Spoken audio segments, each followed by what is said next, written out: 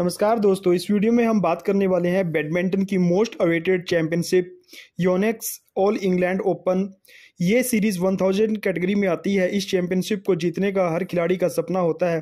14 मार्च से 19 मार्च तक होने वाली इस सीरीज़ को आप डीडी स्पोर्ट्स वूट और जियो सिनेमा पर लाइव देख सकते हैं।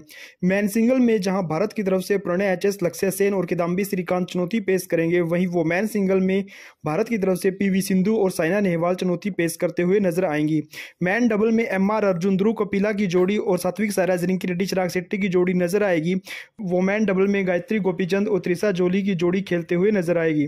इसके अलावा वुमेन डबल में अश्विनी भट्ट और गौतम के सिक्का की जोड़ी भी खेलते हुए नज़र आएगी।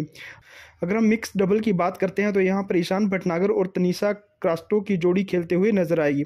उम्मीद करते हैं भारतीय खिलाड़ी यहाँ पर दमदार खेल दिखाएँगे। आज की वीडियो में इतना ही। जुड़े रहने के लिए चैनल को सब्सक्राइब ज़रूर करें। धन्यवाद।